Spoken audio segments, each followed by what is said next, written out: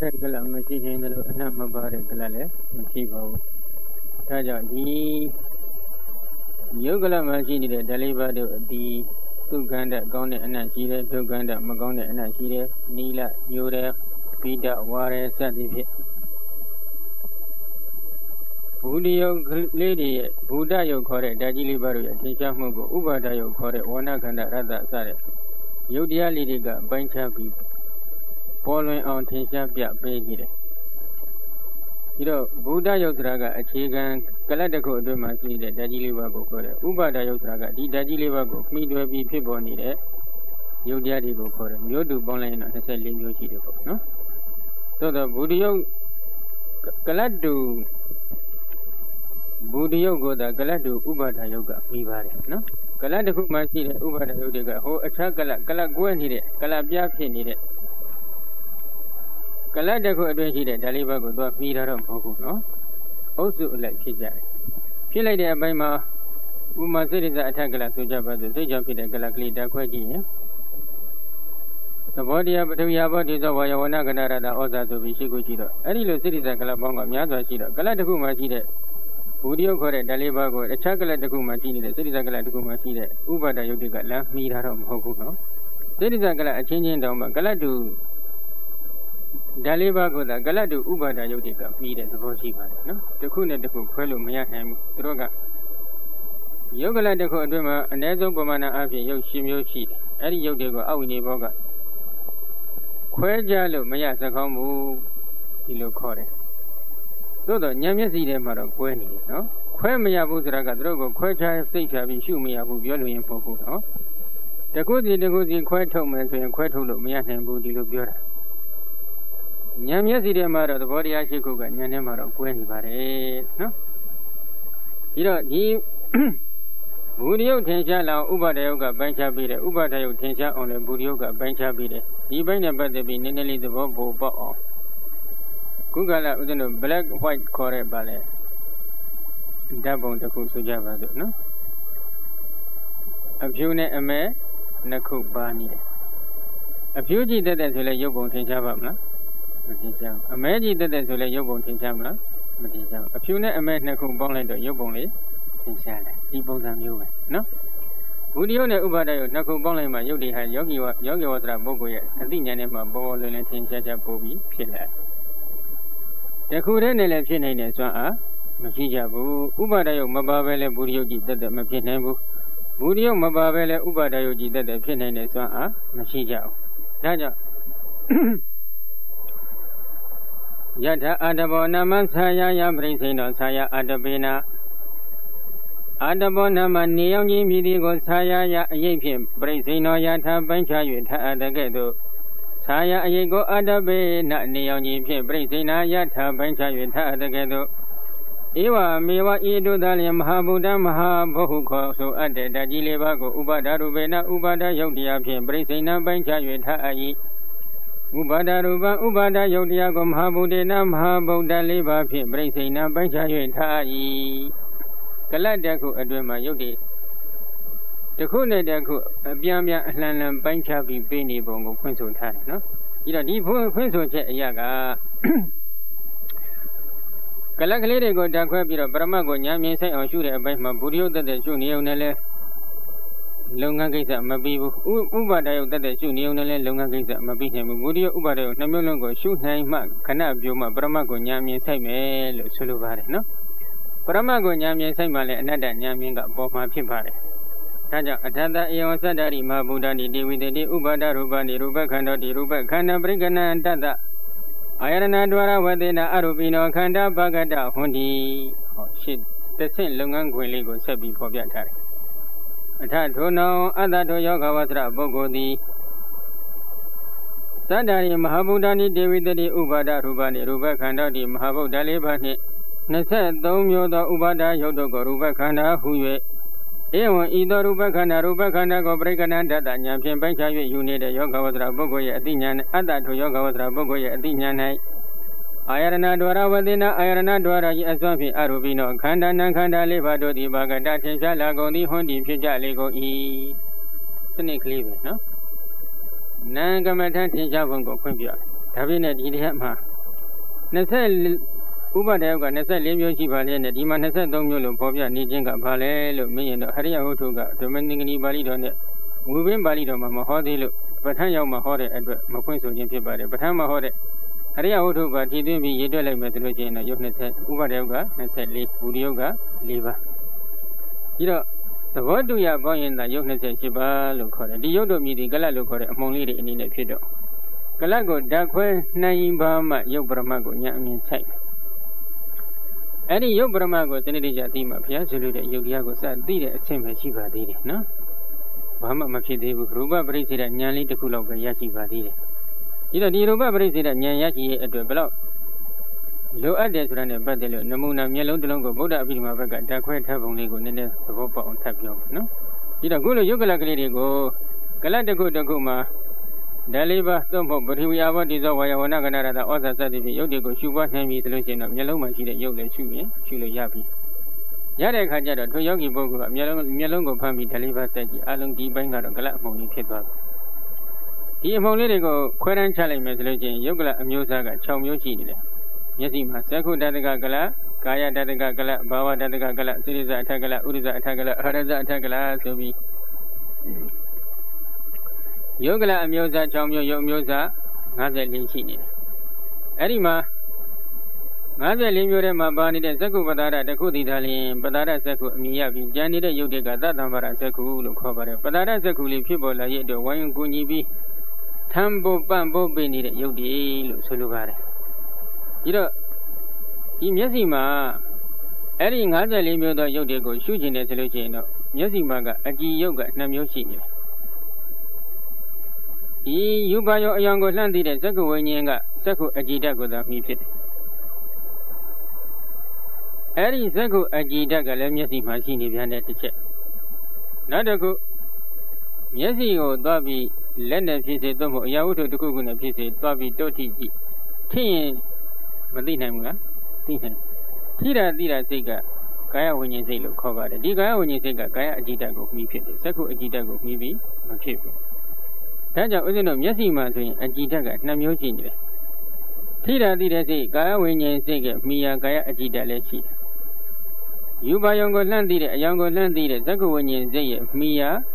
ဇက္ခုအကြည်ဓာတ်လည်းရှိတယ်အကြည်ဓာတ်ကနှစ်မျိုးရှိတယ်ယောဂီပုဂ္ဂိုလ်ရဲ့ဉာဏ်ထဲမှာတော့ဒီဖမ်းပြီးဆက်လျင်နှစ်ခုလုံးကိုကြည်တဲ့ကလအမှုံလေးတွေအနေနဲ့ပဲမြင်နေလိမ့်မယ်မြင်တဲ့အခါမှာဘယ်ကလကသက္ကုတတကကလသို့မဟုတ်သက္ကုအကြည်တပါတဲ့ကလဘယ်ကလကြတော့ကာယတတကကလသို့မဟုတ်ကာယအကြည်တပါတဲ့ကလပဲလေလို့ခွဲခြားဖို့လိုလာတယ်လိုတဲ့အချိန်ကမှဦးဇင်းတို့ဇာပေကျမ်းဂန်များကဖော်ပြထားတဲ့ဘုံလေးကိုတော့နည်းနည်းလေးလိုက်နာရဖို့လိုပါတယ်သက္ကုအကြည်တရဲ့ သဘာဝလက္ခဏာလေးသို့မဟုတ်သဘောအဓိပ္ပာယ်လေးကိုဇာပေကျမ်းဂန်ကဘယ်လိုဖော်ပြထားလဲရူပပိကတာရဟဗုဒ္ဓပဒတာလက္ခဏံဇက္ခုဟောဒါကဥစဉ်တို့မြေပုံလေးတစ်ခုညှိဆွဲပေးထားတာဇက္ခုအကြည်ဓာတ်ကလေးကိုဘယ်လိုရှုရမလဲဆိုတာနဲ့ပတ်သက်လို့ဆွဲပြထားတဲ့မြေပုံလေးပဲရူပပိကတာရဟဗုဒ္ဓပဒတာလက္ခဏံယူပါယုံရှေ့ရှုရိုက်ခါခြင်းခံထိုက်သောဓာတ်ကြီးလေးပါတို့ဤဓာတ်ကြီးလေးပါတို့ကိုကြည်လင်းစေခြင်းသဘောလက္ခဏာရှိ၏ဇက္ခု ဇက္ခုဇက္ခုအကြည်ဓာတ်ရူပပိကတာရဟဗုဒ္ဓပဒတာလက္ခဏံရူပယုံရှိရှုရိုက်ခါခြင်းကထိုက်သောဓာတ်ကြီးလေးပါးတို့ကိုကြည်လင်စေခြင်းသဘောလက္ခဏာရှိ၏သို့မဟုတ်ဓာတ်ကြီးလေးပါးတို့ဤကြည်လင်ခြင်းသဘောလက္ခဏာရှိ၏အတူတူပဲ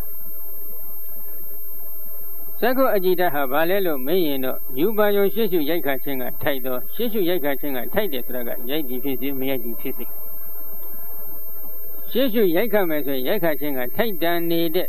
ဓာတ်ကြီးလေးပါတို့ရဲ့ကြီးလေးနေတဲ့သဘောလေးကို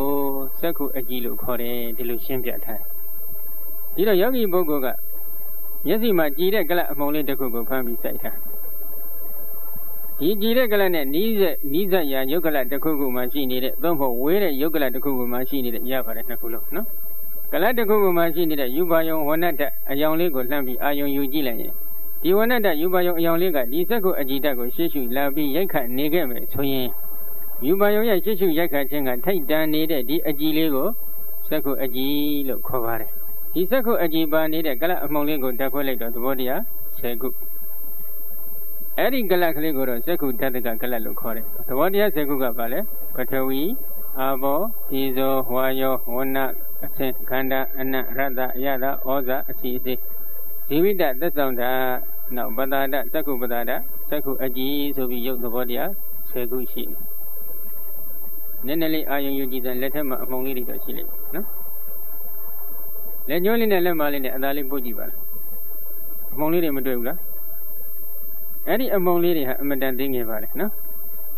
ပကတိရောရောမျက်စိပြာနေတဲ့ပုဂ္ဂိုလ်ဆိုရင်မြင်ဖို့တော်တော်လေးခက်တယ် ဒါပြည့်နဲ့စမ်းကြည့်လိုက်ရင်ဒီအမုံလေးတွေမတွေ့ဘူးလားတွေ့တို့ဟာကလတ်လို့ပြောလို့ရင်တော့မဟုတ်သေးဘူးနော်ဒါနီးစက်တဲ့သဘာဝဥပမာလေးတစ်ခုသာတိုင်းတာပြအဲ့ဒီအမုံလေးကိုအာယုံစိုက်ကြည့်လိုက်ရင်သူနဲ့ထိုက်တန်းတဲ့မာမှုပြောမှုကြမ်းမှုချောမှုလေးမှုပေါ့မှုမရှိဘူးလားရှိပထဝီပဲတနည်းအားဖြင့်သူနဲ့ထိုက်တန်းနေတဲ့အလေးချိန်ဝိတ်ကလေးမရှိဘူးလားရှိတယ်ပထဝီပဲဝိတ်ပဲနော်နောက်တစ်ခု စွတ်စွနေတဲ့သဘာဝယုစီစိတ်ဝင်စွတ်စွနေတဲ့သဘာဝရှိမယ်ဖွဲ့စည်းထားတဲ့သဘာဝလေးတစ်ခုရှိမယ်ဘာလို့ဖွဲ့စည်းထားလဲမင်းရင်တော့ကပထဝီရဲ့တည်သောရဲ့ဝါရဲ့ဒီသုံးခုကိုဖျော်ဖျက်ပြိုကွက်ပြီးမသွားအောင်သူကဆွဲစုထားတဲ့သဘာဝလေးတစ်ခုယုစီစွတ်စွနေတဲ့သဘာဝတစ်ခုကဘာလဲအာဘောဓဒီအမုံလေးကိုတရားစမ်းကြည့်ပူခြင်းပူမဲ့အေးခြင်းအေးမဲ့သူနဲ့ထိုက်တန်တယ်လို့ပေါ့နော်ပူနေအေးနေတဲ့သဘောလေးကဒီဇောဓာတ် အရာဝတ္ထုတို့ဒီတည်ငြိမ်မနေပါဘူးဆိုတာဒီနေ့သိပ္ပံကလည်းလက်ခံပါတယ်နော်ဒီယုတ်ကလအမုံလေးထဲမှာကိုဒီအမုံလေးထဲမှာကိုကတုံးကလှုပ်ရှားနေတဲ့သဘာဝလေးကဝါယောဓာတ်ထောက်ထားတဲ့သဘာဝလေးကဝါယောဓာတ်ပေါင်းလိုက်တော့ဓာတ်ကြီးလေးပါရှိတယ်အဲ့ဒီအမုံလေးကိုအကယ်များခြေအားကောင်းတဲ့မှန်မလူတွေနဲ့ကြည့်မယ်ဆိုရင်တော့သူနဲ့ထိုက်တဲ့ကာလာအယောင်တစ်ခုခုရှိမယ်မသိနိုင်ဘူးလားသိနိုင်တယ်ဖြူခြင်းဖြူမယ်ဝါခြင်းဝါမယ်နီးခြင်းနီးမယ်ပြားခြင်းပြားမယ်သူနဲ့ထိုက်တဲ့အနတ်ရှိမယ် မွေးခြင်းမှုမယ်နာညင်နာမယ်သူနဲ့ထိုက်တဲ့အရာတစ်ခုရှိမယ်ချိုးခြင်းချိုးမယ်ငန်းခြင်းငန်းမယ်စက်ခြင်းစက်မယ်ဖန်ခြင်းဖန်မယ်ခါခြင်းခါမယ်နော်ချိုးခြင်းငန်းစက်ဖန်ကအရာတစ်ခုကိုတော့ရှိနေလိမ့်မယ်သူနဲ့ထိုက်တဲ့အဟာရတဗီတာမင်ဓာတ်ကလေးရှိမယ်အစီအစီလေးနှစ်ကလေးနော်ကောင်းခြင်းကောင်းမယ်မကောင်းခြင်းမကောင်းဘူးပေါ့အ ਨੇ ဆုံးသဘာဝဘယ်နှခုရှိမလဲရှစ်ခုသဘောတရားရှစ်ခုပေါင်းစုလိုက်မှအမှုံလေးတစ်ခုဖြစ်ပေါ်လာရပါတယ်အဲ့ဒီပုံစံအတိုင်းပဲဒီသက္ကုတ္တကကလလို့ခေါ်တဲ့အမှုံလေးမှလည်း သူနဲ့ထိုက်တန်နေတဲ့မာပြော့ကြမ်းချောလေးပေါ်ဆိုတဲ့ပထဝီဓာတ်ယုစီဖွဲ့စည်းဆိုတဲ့အဘောဓာတ်ပူအေးဆိုတဲ့ဒီဇောဓာတ်ထောက်တွန်းဆိုတဲ့ဝါယောဓာတ်ရှိဝါယောဓာတ်သူနဲ့ထိုက်တန်တဲ့အယောင်အစင်ဝဏ္ဏဓာတ်ရှိတယ်သူနဲ့ထိုက်တန်တဲ့အနတ်ခန္ဓာရှိတယ်သူနဲ့ထိုက်တန်တဲ့အရသာဓာတဓာတ်ရှိတယ်ဒီထိုက်တန်နေတဲ့အစီအစိအာဟာရဓာတ်ရှိနေနောက်တစ်ခုဇီဝိတာအဲ့ဒါကတော့ကာမဇယုတ်ဒီမှာပဲရှိတဲ့ယုတ်တစ်မျိုးပဲ ဒီဇက်ကိုအကြည်ဓာတ်ကအခုဒကာကြီးတွေကအသက်50ရှိပြီဆိုကြပါစို့နော်ဒီဇက်ကိုအကြည်ဓာတ်ဥဆောင်နေတဲ့ကာမဇကလတ်တွေဒီမျက်စိမှာဟောအတိတ်ကကံကြောင့်ဖြစ်တဲ့ယုတ်တရားတွေဖြစ်ပါတယ်ဒီဘဝပြည့်စုံပြည့်ထုံနေတဲ့ကံကြောင့်ဖြစ်တဲ့ယုတ်တရားတွေမဟုတ်ဘူးဒီဘဝပြည့်စုံပြည့်ထုံတဲ့ယုတ်ကံတွေကြောင့်ဒီဇက်ကိုအကြည်ဓာတ်စတဲ့ယုတ်တရားတွေမျက်စိမှာဖြစ်နေရပါတယ်ဆိုရင်ဒီကကြီးတွေဆေးရုံတက်ပြီးမျက်စိကုသနေဖို့လုံးမလား မလိုတော့ဘူးဒီဘဝကောင်းတဲ့ခံတွေပြုလိုက်ဒီမျက်စိချက်ချင်းကောင်းတော့ဘောဒီကံဒီဘဝကံကြောင့်ဖြစ်ခဲ့တယ်ဆိုရင်နော်ခုတော့ဘာလဲပါလဲဒီဘဝကံကြောင့်ဖြစ်တယ်မဟုတ်ဘူးအတိတ်ကကံကြောင့်ဖြစ်နေတယ်ဆိုတာလက်မခံနိုင်ဘူးနော်အတိတ်ကကံကြောင့်ဖြစ်တဲ့အခါကျတော့ဒီကံကိုကိုကအမိန်ပေးလို့မရနိုင်ဘူးပြုပြင်လို့လည်းမရဘူးအတိတ်ကဖြစ်ခဲ့တာဒီတော့ဒီမှာကုသစရာအကြောင်းရှိခဲ့ရင်ဆရာဝန်ကြီးနဲ့တက်ကိုပြောက်ချင်းလည်းပြောက်မယ်မပြောက်တော့လည်းရှိပြောက်တယ်ဆိုတာကကံကြောင့်ဖြစ်တဲ့ရောဂါဝေဒနာမျိုးမဟုတ်ပဲ စိတ်ကြောင့်ဥဒုကြောင့်အာဟာရကြောင့်စတဲ့အကြောင်းတရားထိုးထိုးကြောင့်ဖြစ်ပေါ်လာတဲ့ယောဂမျိုးဆိုရင်အခုလိုပြောင်းအတိတ်ကကံရဲ့ချွတ်တဲ့မှုကြောင့်ဖြစ်ပေါ်လာတဲ့ရောဂါဖြစ်နေရင်တော့ဘယ်လိုမှအခုလိုမပြောက်တော့ဘူးအတိတ်အကြောင်းတရားရဲ့ချွတ်တဲ့မှုကရှိနော်ဒါကြောင့်ရောဂါရှိတိုင်းလည်းအလုံးပြောက်ရမယ်ဆိုတဲ့ပုံသင်စီးမြင့်ကြီးကိုချထားလို့မရပါဘူးဒီတဲ့ပို့ဆိုတဲ့စီကံတစ်ခုကတော့ကမ္မထအထုတ်ရင်ရောဂါဟုသမျှအကုန်ပြောက်မယ်ဆိုတဲ့စီကံကမထားသင့်ဘူးအကယ်၍ ကမ္မထအထုတ်တာနဲ့ယောဂဟုသမျှအကုန်ပြောက်မယ်ဆိုအိုနာသေးရေးအကုန်လုံးလွတ်မသွားဘူးလားကမ္မထအထုတ်ရုံနဲ့သဘောပြပါတယ်ယောဂဟုသမျှစိစစားနေဖို့လိုသေးလားလိုတော့ဘူးနော်ပြောင်းနိုင်တဲ့ယောဂတော့ပြောင်းမယ်ပေါ့ပြောလို့ရင်ကအတိတ်ကကံကြောင့်ဖြစ်နေတဲ့ယောဂမျိုးဖြစ်ခဲ့ရင်မပြောင်းနိုင်ဘူးဥဒုကြောင့်ဖြစ်တဲ့ယောဂဆိုဥဒုကိုပြုခြင်းပြီးရင်ကောင်းသွားမယ်စိတ်ကြောင့်ဖြစ်တဲ့ယောဂဆိုရင်စိတ်ကိုပြုခြင်းပြီးနိုင်ရင်ကောင်းသွားမယ် အာဟာရကြောင့်ဖြစ်တဲ့ယောဂဆိုရင်လည်းအာဟာရတွေကိုပြုပြင်ပြီးရင်ကောင်းသွားနိုင်တယ်ဒီသဘောတော့ရှိပါတယ်နော်ကံကြောင့်ဖြစ်တဲ့ယောဂကတော့အတိတ်ကကံကိုတော့အမြင်ပေးလို့တော့မရဘူးသို့တော့ဒီကံကိုအားနည်းတော့အောင်တော့ဒီဘက်ကကောင်းမှုကုသိုလ်တွေထက်ခါထက်ခါပြုဖို့တော့လိုအပ်တယ်အကယ်ဒီကံကအားနည်းရင်တော့ပြတ်ထွက်သွားတတ်တယ်အားများနေသေးတယ်ဆိုရင်တော့ဘယ်လိုမှကျော်လွှတ်လို့မတတ်နိုင်ဘူးရှင်မမောက္ကလန်ကြီးတို့လိုပေါ့မိခင်ကို တပ်ဖြတ်ခဲ့တဲ့ကံသေးတော့မသေးပါဘူးနော်မသေးပေမဲ့လို့အသေးတတ်ခဲ့တဲ့ဒီကံကအကျိုးပေးတယ်ရှောင်လို့ရလားမရဘူးတကောတလောက်ကြည့်ပေမဲ့လို့ခုနှစ်ရက်ပြည့်တဲ့အချိန်ခါမှာဒီသခိုးသားတပြတွေလာနေတယ်ဆိုတာလည်းသိတယ်ရှောင်လို့ဘယ်လို့မှမရဘူးဘယ်လို့မရသဖြစ်သွားတယ်ဇန်နေဝင်စားတော့အဲ့ဒီအချိန်ခါမှာဇန်နေဝင်စားလို့မရတော့အဘိညာဉ်ကိုဝင်စားလို့မရဖြစ်နေပြီခံကအကျိုးပေးဖို့အခါခွင့်သိတာနော်ဒီတော့ဇေမမောက္ကဏဒီတစ်ဖက်ကကြည့်မယ်ဆိုလို့ရှိရင်ဉာဏ်ပုဂ္ဂိုလ်ဖြစ်ပါတယ် တစ်ဖက်ကကြည့်ရင်လည်းတကောဣတိပအယာမဣတိရရတော်မူတဲ့လေဝဲရအက္ကသာဝကကြီးတူဖြစ်တယ်ထိုလိုပုဂ္ဂိုလ်ဒီဒီပင်မိမိမှာကြောက်ရောက်လာတဲ့ဖြစ်ပေါ်လာမဲ့အန္တရာယ်တွေကိုသုတ်ဖို့ဝေဒနာတွေကိုကြော်လွတ်လုံမြောက်တော့အောင်တိုက်ခိုက်နိုင်တဲ့စွမ်းအားရှိလားမရှိဘူးကံကြောင့်ဖြစ်တဲ့ဝေဒနာတွေဖြစ်နော်သို့တော့တခုတော့ရှိပါတယ်ခိုးသားတွေပြန်သွားတဲ့အချိန်ကကျတော့ခိုးသားတွေကလည်းတကိုးကြည့်တယ်ဆိုပြီးတော့ဆန်စီလောက်တော့မှ အယိုးလေးတွေမထအောင်မုံမုံညံ့ညံ့ကြည့်အောင်ထုခဲ့ဒါပြင်လည်းအဲ့ဒီခိုးသားတွေထုသွားတဲ့ဒီအယိုးနဲ့ဝိညာဉ်တကိုးဖြင့်အဲ့ခါကျတော့စားလို့ရတော့ဝိညာဉ်တကိုးဖြင့်ပြန်ပြီးပဂတိတန်ဒိဋ္ဌံလိုက်ဒိဋ္ဌံပြီးတော့မှမြတ်စွာဘုရားကိုသွားပြီးခုမြောကြော့တယ်ဘုရားရှင်ထံမှာခွင်တောင်းတယ်ခွင်တောင်းပြီးတော့မှဒုက္ခမှာပြိဋိဘဆန်းတော်မူပါတယ်နော်ဒီယောဂခုနကခိုးသားဓမြတွေရဲ့ရိုက်လိုက်လို့ခံရတဲ့ဒီယောဂကိုကြော်လှလုံမြောက်အောင်သူဝိပဿနာရှုနိုင်လား ရှုနိုင်ပါဘူးရှုလိုက်လို့လည်းဒီယောဂတွေအကုန်လုံးပြောက်သွားတာတော့မဟုတ်ဘူးနော်နောက်တစ်ခုဥစဉ်တော့ဘုရားရှင်မှခန္ဓာတဲ့ဝေဒနာပေါ်တယ်ဘုရားရှင်ဒီရူပတတ္တကရှုနည်းအရူပတတ္တကရှုနည်းဆိုတဲ့ရှုနည်းတွေဖြင့်ဝိပဿနာကိုကြည်ဖန်များစွာရှုတယ်ရှုပြီးတော့မှအရဟတဖို့တဘာဘကိုကြည်ဖန်များစွာဝင်စားရတယ်ထိုအရဟတဖို့တမဘမှာထားတဲ့အခါမှာအဋ္ဌံပါရမီဖြင့်ဒီခန္ဓာဝေဒနာကိုပယ်ခွာယူရတယ်ဒီနေ့မှနောက်ပြိဋိဘံစမ်းမဲ့နေ့အထိဒီခန္ဓာဝေဒနာမပေါ်ပါစေတည်းဆိုပြီးတော့ အဲဒီဖလသမဘမှာထားတိုင်းထားတိုင်းထိခံပြီးရနော်ဒါနေ့စဉ်ဝင်စားနေရတဲ့အာယုတ္တခါရဖလသမဘလို့ခေါ်ပါတယ်အဲဒီတော့ဘုရားရှင်တော်မှလည်းဒီခန္ဓာနေတဲ့ဝေဒနာကိုကုံအောင်တိုက်နိုင်တဲ့စွမ်းအားရှိလားမရှိဘူးအဋိဌံပါရမီနဲ့ဖလသမဘကိုအကျင့်များစွာဝင်စားပြီးတော့အဋိဌံပါရမီနဲ့ခွာခွာပေးရပါတယ်နော်ဒါကြောင့်တရားအထုတ်တိုင်းလည်းဝေဒနာအလုံးပြောင်းမယ်ဆိုတဲ့မူတည်ကြီးကတော့ဆွဲမြဲပြီးမထားသိကြဘူးနော် ဒီတော့ခုဒီမှာပြောနေကြတဲ့ပြောနေတဲ့အချက်ကကလတ်တက်ခွဲတဲ့အပိုင်းပါပဲဒီတော့ဒီကလတ်ကိုတက်ခွဲတဲ့အပိုင်းမှာခုနကသက္ခုတတ္တကကလတ်က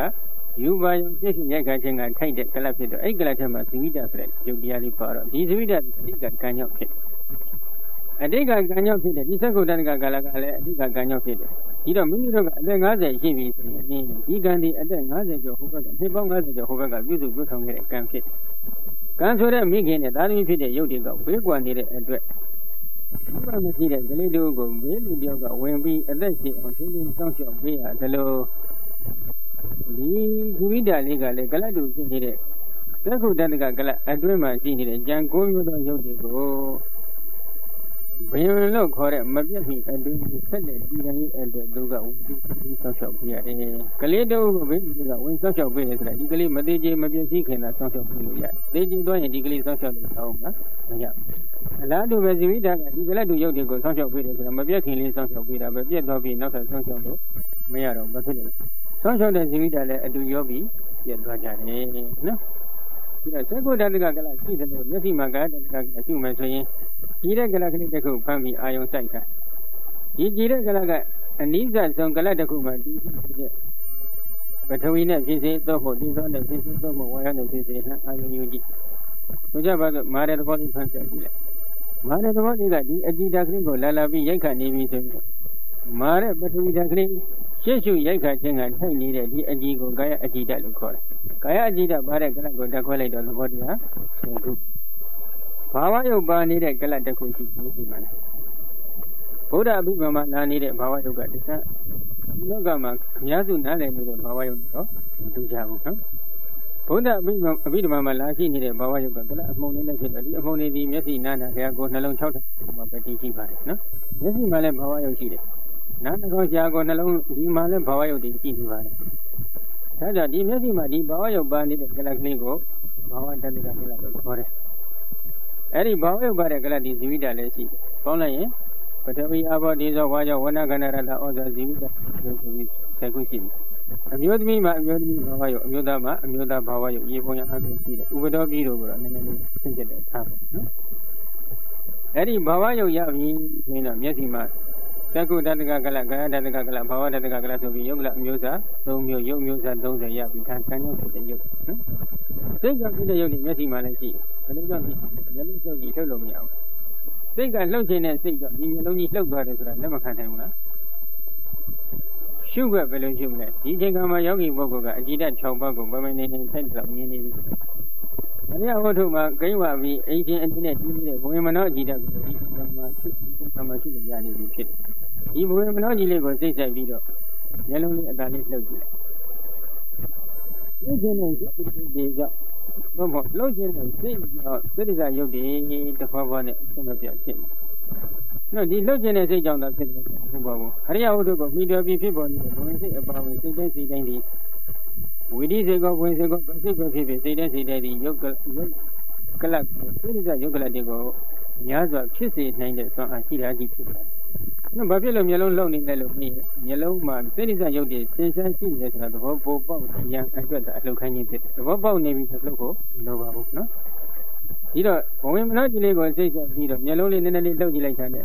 လှုပ်ခြင်းနဲ့စိတ်စိတ်တွေကြောင့်စိတ္တဇရုပ်တွေမျိုးလုံးတိုင်အောင်သုံးဖို့ဒီကုလုံးအနှံပြဖြစ်နေတာကိုဒီပုဂ္ဂိုလ်ကမြင်သွားလိမ့်မယ်ဒီကလတ်တွေကတောက်တဲ့သဘောတရားသိခုကလတ်တကုတကုမှာပတဝိယဘောတိသောဝါယဝနကဏရတဩဇာဆိုပြီးသဘောတရားရှိခုရှိနောက်တစ်ခု ဥဒုကဥဒုခါရဒီနေ့ယာတိဥဒုပူတယ်ဒီနေ့ယာတိဥဒုပူရာကိုဥဒုလို့လည်းခေါ်တယ်အေးတာကိုဥဒုလို့လည်းခေါ်တယ်မူမှုအေးမှုကိုဒီသောတလို့လည်းခေါ်တယ်အတူတူပဲနော်အဲကြောင့်ဒီသောတခေါ်တဲ့ဥဒုကြောင့်ဖြစ်နေတဲ့စိတ်တွေကိုဥဒုကယုတ်လို့ခေါ်ပါတယ်အဲဒီသောတလည်းလို့ဖြစ်တော့ရေပုံရအဖြစ်တော့ကလတိုင်းလောလောမှာဒီသောတမပါဘူးလားပါတယ်ရေပုံရလို့ပြောရင်အကြောင်းကဒီလိုပါခုနကပြောခဲ့တဲ့သက္ကုတ္တကကလဆိုကြဆိုအတိတ်ကံကြောင့်သူကဖြစ်ပေါ်လာပြီ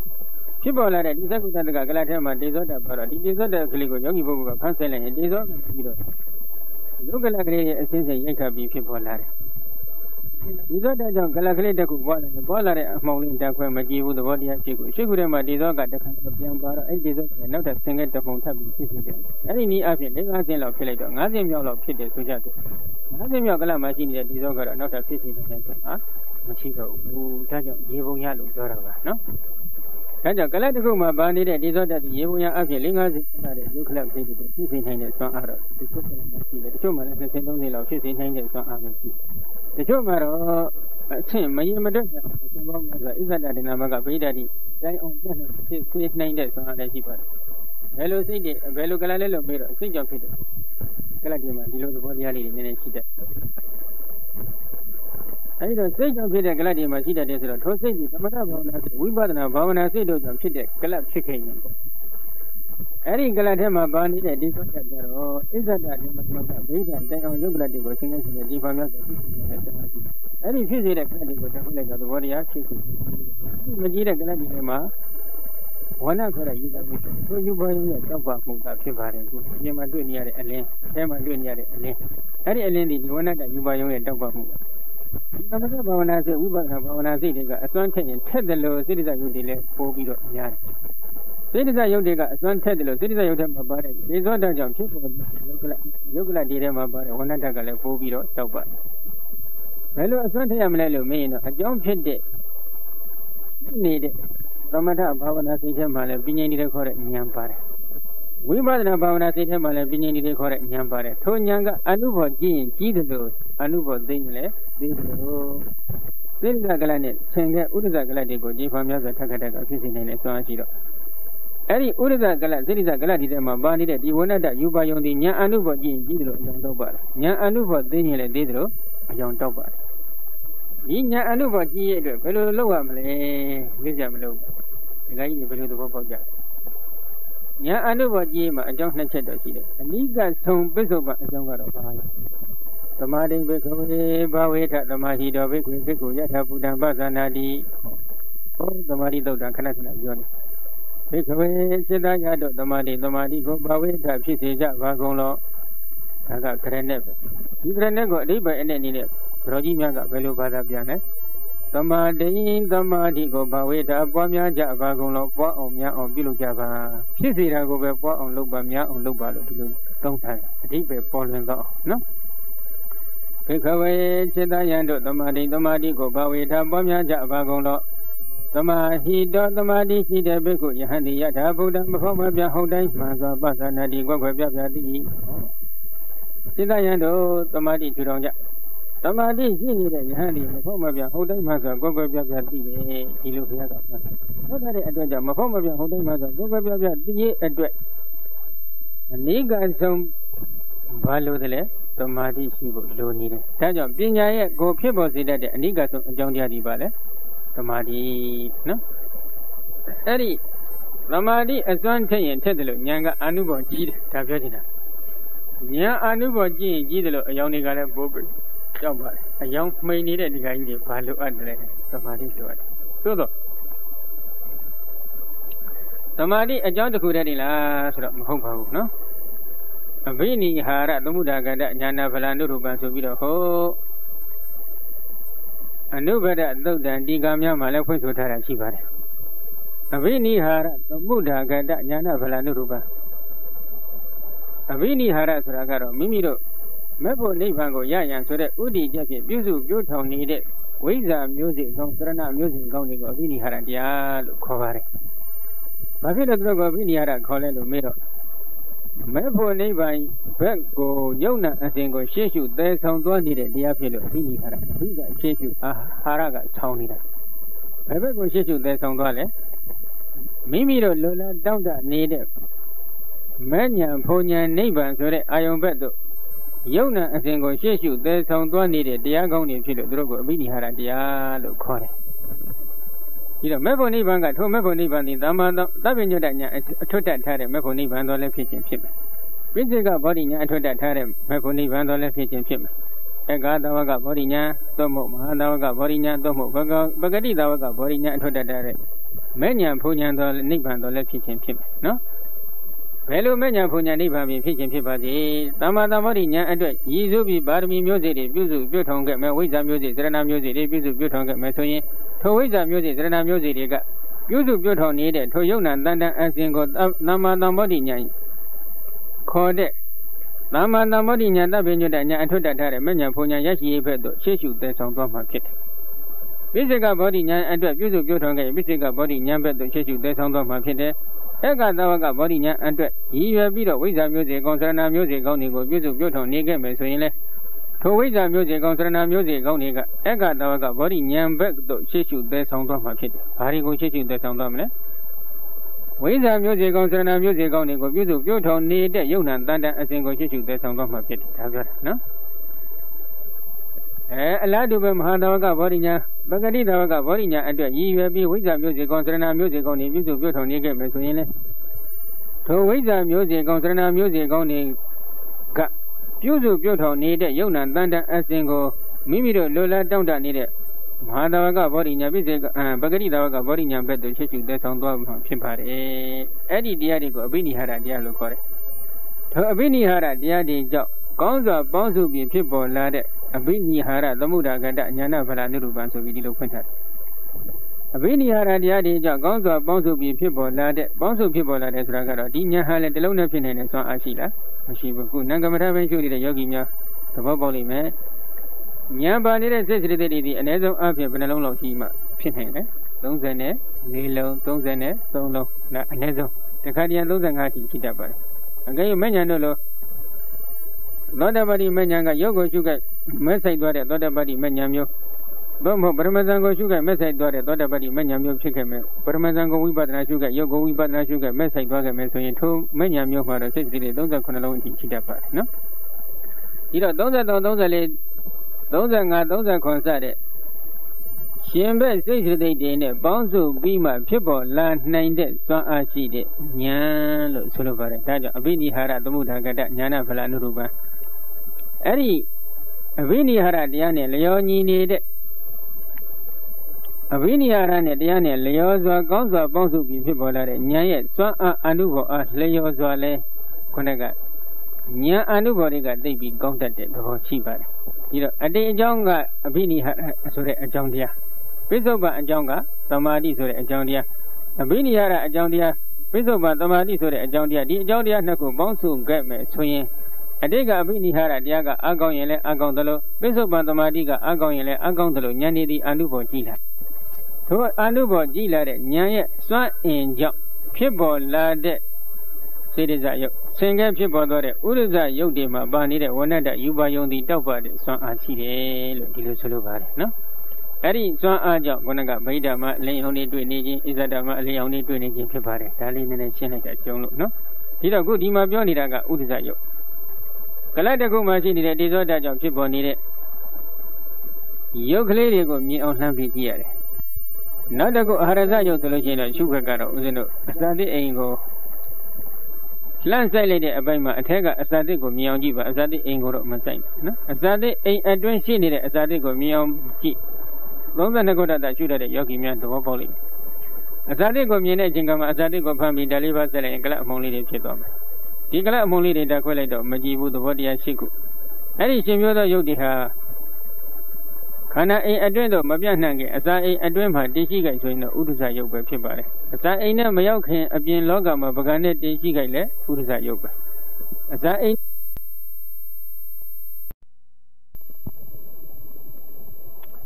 ဝဏကန္တရတဩဇာဆိုပြီးယုတ်သဘောတရားရှိခုရှိတယ်အဲ့ဒီဩဇာသည် ဥဒ္ဒဇယုတ်ကလတိထဲမှာပါနေတဲ့ဩဇာဖြစ်ခြင်းကြောင့်ဒီဩဇာကိုဥဒ္ဒဇဩဇာလို့ခေါ်ပါတယ်ထိုဥဒ္ဒဇဩဇာသည်ဇာအိမ်ရဲ့အောက်ဘက်နော်အောက်ဘက်မှာတည်ရှိနေတဲ့ဇီဝိတနဝကကလဆိုတာရှိပါတယ်မကြီးတဲ့ကလအမုံလေးတွေပဲထိုမကြီးတဲ့ကလအမုံထဲမှာပါနေတဲ့တိဇောတကိုကမ္မဇဝမ်းမီလို့ခေါ်တယ်ထိုကမ္မဇဝမ်းမီခေါ်တဲ့ဇီဝိတနဝကကလအတွင်းရှိတိဇောတရဲ့အဘိထောက်ပမှုအကူကြီးကိုရရှိခဲ့မယ်ဆိုရင် ထိုဥရဇကလထဲမှာပါနေတဲ့ဩဇာကနောက်ထပ်ယုတ်ကလအတိတ်ကိုထပ်ပြီးဖြစ်စေနိုင်တဲ့စွမ်းအားရှိတယ်အဲ့ဒီနောက်ထပ်အတိတ်ထပ်ပြီးဖြစ်ပေါ်လာတဲ့ဥရဇဩဇာကြောင့်ဖြစ်ပေါ်လာတဲ့ကလပ်ကလေးတွေကိုတော့အာရဇယုတ်လို့ခေါ်ပါတယ်။ဩဇာကြောင့်ဖြစ်ပေါ်လာလို့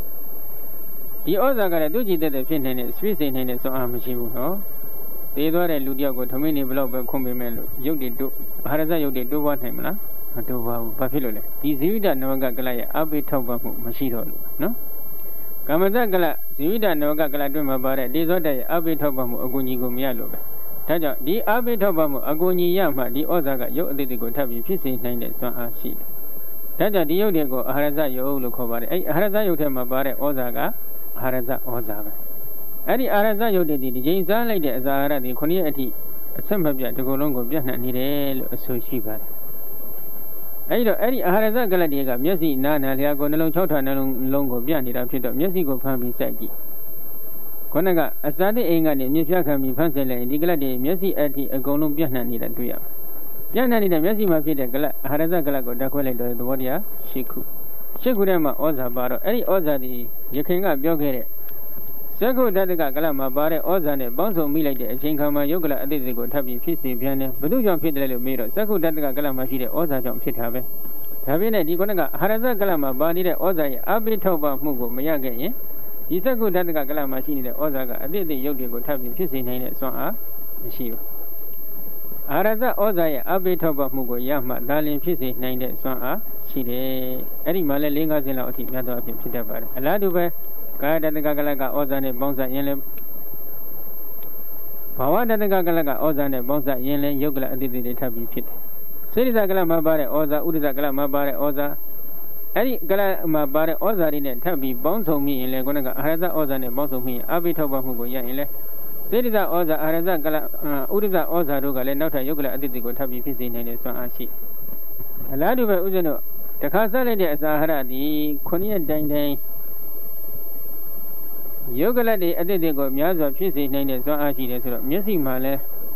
အာရဇကလတွေများစွာရှိတယ်ရှင်းရှင်းဖြစ်ပေါ်နေတဲ့အာရဇကလမှာရှိနေတဲ့ဩဇာနဲ့နောက်နောက်ဖြစ်ပေါ်လာတဲ့အာရဇကလမှာပါတဲ့ဩဇာတို့ပေါင်းစပ်လိုက်တဲ့အချိန်ခါမှာလဲရှင်းရှင်းကလမှာရှိတဲ့ဩဇာဒီနောက်နောက်ကလမှာရှိတဲ့ဩဇာရဲ့အဘိထောက်ပမှုကိုရတဲ့အခါယုတ်ကလတွေကိုအဲထက်ခထက်ကဖြစ်စေနိုင်တယ်အဲ့ဒီလိုဖြစ်စေမှုကတော့ သားမျိုးလိုက်တဲ့အစာအာဟာရရဲ့အာဟာရတဗီတာမင်ဓာတ်အများရင်များတယ်လို့ဆယ်ဆင့်၁၂ဆင့်အထိတော့လည်းဖြစ်စေနိုင်တဲ့အစွမ်းအားရှိတယ်လို့ဆိုပါတယ်ဒါကရိုးရိုးအခွဲပဲနော်ဒါပေမဲ့နောက်ထပ်ခုပြောခဲ့တဲ့စကားအရကြည့်ရင်ကလတ်တခုမှာဒီဇောတကလည်းယုတ်ကလအတိတ်ကိုဖြစ်စေနိုင်တယ်ဩဇာကလည်းအာရဇဩဇာရဲ့အဘိထောက်ပမှုကိုရခဲ့ရင်ကလတ်ကလတ်အတိတ်ကိုထပ်ပြီးဖြစ်စေနိုင်တယ် ဒီတော့ဦးဇင်းတို့ဒေဇောဓာတ်ကြောင့်ဖြစ်တဲ့ကလတ်ကိုဓာတ်ခွဲကြည့်သဘောတရားရှိခုအဲ့ဒီထဲမှာရှိခုထဲမှာဒေဇောပါတော့ဒေဇောကနောက်ထပ်ကလတ်တစ်ခုဖြစ်စေနိုင်တယ်လို့ဩဇာလည်းပါနေတော့ဩဇာကလည်းအာရဇဩဇာရဲ့အဘိထောက်ပါမှုကိုရခဲ့ရင်နောက်ထပ်ကလတ်အတိတ်ကိုထပ်ပြီးဖြစ်စေနိုင်ပြန်တယ်အလားတူပဲဦးဇင်းတို့သက္ကုတ္တကကလတ်မှာပါနေတဲ့ဩဇာကြောင့်နောက်ထပ်ခုနကဒီဩဇာတွေအာရဇဩဇာရဲ့အဘိထောက်ပါမှုကိုရခဲ့ရင်ကလတ်အတိတ်ကိုဖြစ်စေနိုင်တယ်လို့ပြောပြီးပြီ ဖြစ်စေဖြစ်သွားတဲ့ကလတ်တဲ့ဓာတ်ခွဲလိုက်တော့သဘောတရားရှိခုရှိခုထဲမှာဥစဉ်တော့ဒေဇောမပါဘူးလားပါပြန်တယ်